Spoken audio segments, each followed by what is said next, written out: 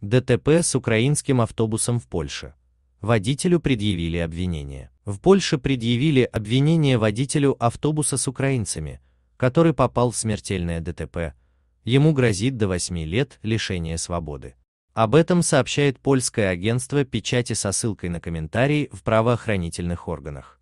Представительница окружной прокуратуры в городе Пшемысль Биата Стажецкая рассказала, что 48-летнему украинскому водителю Владимиру К сообщили об обвинениях в неумышленном совершении аварии на наземном транспорте.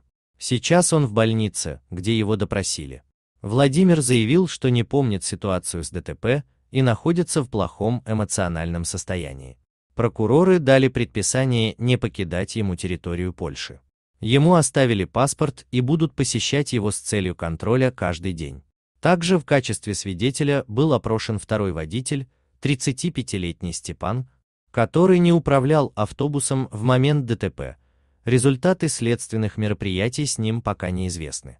По предварительным данным следствия, вероятной причиной аварии стал неудачный маневр при вождении, когда водитель решил съехать на место стоянки и отдыха. По словам Стажецкой, автобус ехал с разрешенной для того участка автомагистрали скоростью, однако она была слишком высокой для запланированного поворота направо. Напомним, в ночь на 6 марта в Польше съехал в кювет и перевернулся автобус с украинцами. В результате ДТП погибли пять граждан, еще одного удалось реанимировать в больнице. Всего в автобусе находились 57 человек. Известно, что перед аварией водитель автобуса резко начал снижать скорость.